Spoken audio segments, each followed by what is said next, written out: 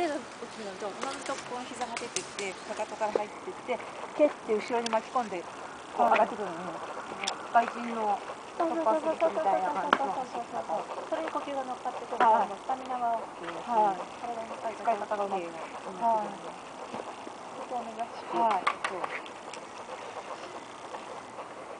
すごいかも。一日だもんね。前回は違うもんね。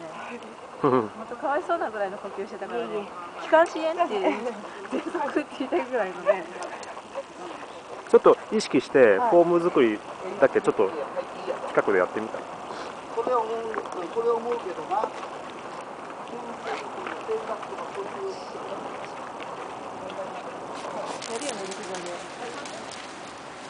前に出すの。かかとかかかとを踏むの。そう。